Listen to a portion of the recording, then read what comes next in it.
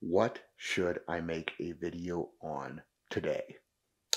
I think I've got it. We are going to be talking about box squats, which means that we have to acknowledge that most people think that they suck for raw powerlifting. And that opinion is almost justifiable because if we look at the evidence of every raw lifter who has trained box squats, very few of them have gotten shit all carryover from them.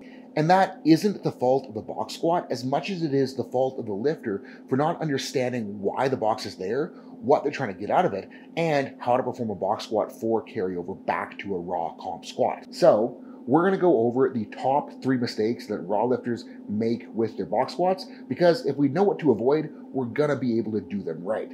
But first, we got to understand where the big misconception around box squats came from. And what people fail to realize about almost everything that has been talked about in regards to box squats is that box squats were an exercise popularized for multiply powerlifting.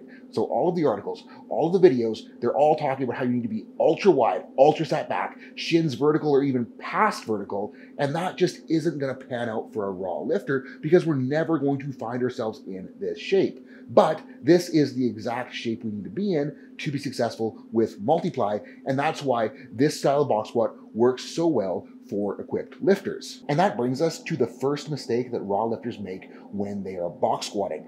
They're using the wrong groove. They're treating it like a multiply style box squat. They're sitting way back, they're loading into their hips, they're ultra wide, they're making their hips and hamstrings very strong by doing this, but they're forgetting that as a raw lifter, quads are important. And if you're sitting back this far in multiply, the suit and the briefs, they're gonna catch you and they're gonna give you something to push back into.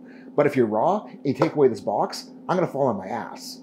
And you see too many raw lifters that are like Westside, west side, Westside, box squats, box squat, box squats, and they only train to the box and they're only training wide and they're only training way sat back. And then they wonder why their bottom end sucks come meet day. So if we're gonna be predominantly box squatting during a raw meet prep, we need to be in our raw stance, we need to be in our raw groove, and we shouldn't be doing any excessive sitting back.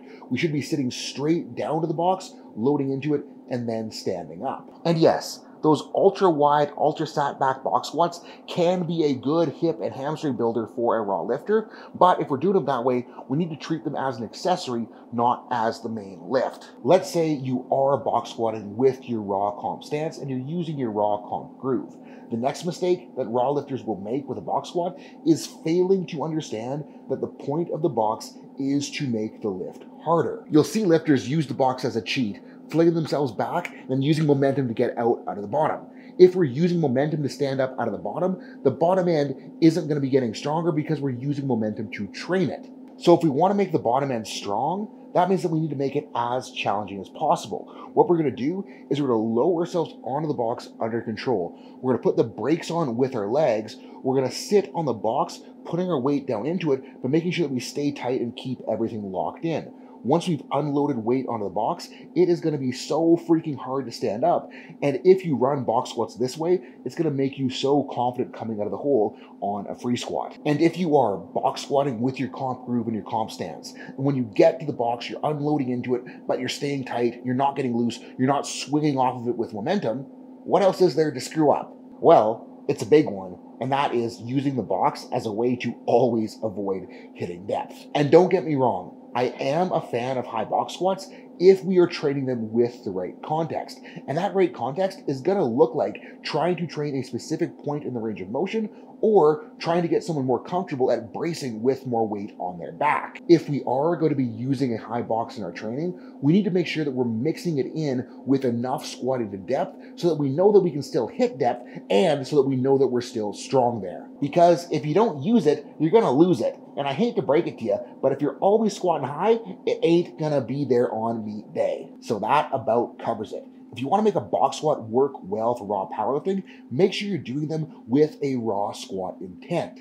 Make sure that you aren't using the box as a way to make the squat easier, you're using the box as a way to make the squat harder. And last but not least, make sure that you're squatting the depth enough that you still know how to hit depth. Thank you guys so much for watching.